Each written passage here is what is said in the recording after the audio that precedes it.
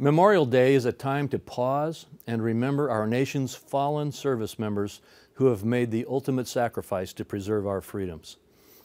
On this day, we honor our country's sons and daughters who have gone above and beyond the call of duty to protect the American way of life.